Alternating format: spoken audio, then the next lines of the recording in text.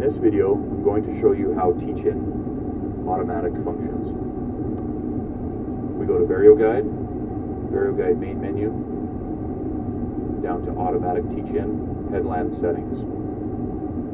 Up here at the very top, we have the ability to turn a beeper on and off to inform you of when you're at your headlands.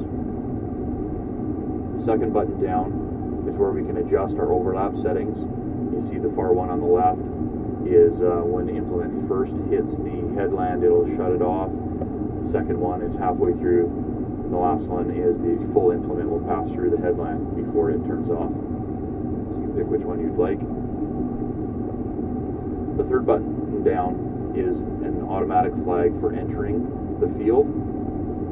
The fourth one down is an automatic flag for entering the headland these two flags here are for when you manually use Teach-In. What will happen is your tractor will beep at you when you reach the certain distance that you put in either one of these boxes when you've reached that flag and then you manually touch the button to engage your, your Teach-In. In this case, we're going to use Teach-In automatic, so we're going to leave these flags turned off and we need to turn on the one underneath the flags. However, it's grayed out right now.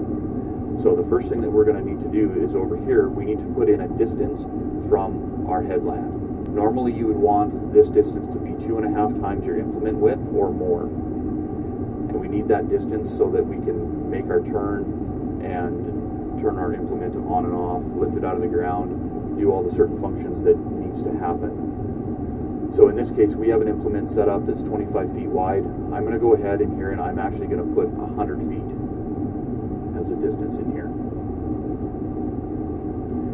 Then the boxes moved down here to for me to define when I want this to, to occur when I'm entering back into the field. So I have the ability to adjust this value using the scroll dial on the side of the terminal to whatever I want. In this case, I'm actually going to leave it at zero feet because I want, in this example, I want my Teach-In sequence to occur right at my interior headland.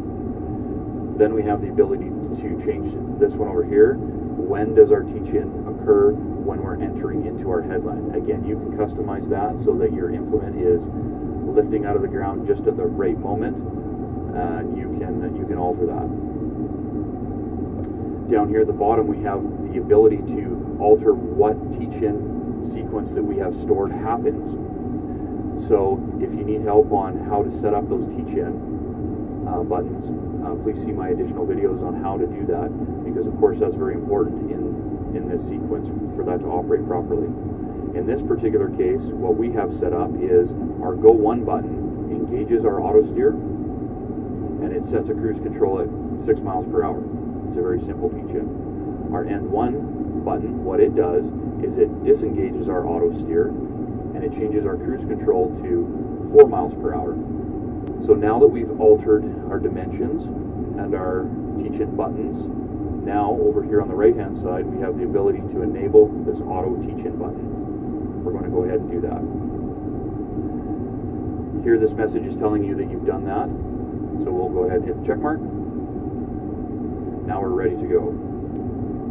So now I'm going to get some ground speed with the tractor. I'm going to go ahead and hit my Go 1 button that has enabled my auto steer and now I'm doing 6 miles per hour. And as I reach that teal line